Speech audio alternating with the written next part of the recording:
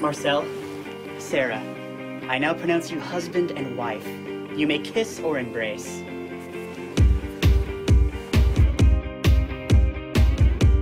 I don't want all my friends at home to hear that I got married to some guy. That's disgusting. How about a picture of the groom and the best man? Uh, let's hope immigration never sees those photos. Do you have a boyfriend? No? Do you want one? I'm Kyle. I love you. I know it's too early to say that after just six days. I'm just crazy about you. Guess who just called? Who? My sister. April? Do you think we could be best friends again?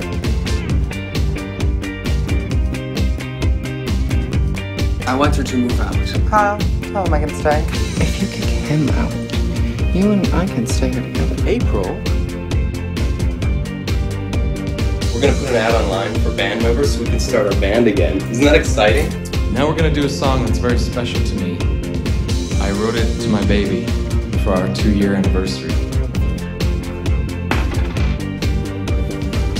What the fuck?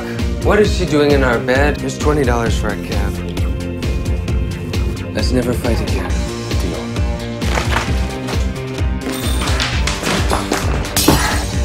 Are ways to solve this. I know. One phone call. You're so stupid, Sarah. I'm so sorry. I'm sorry too. I love you. I love you too.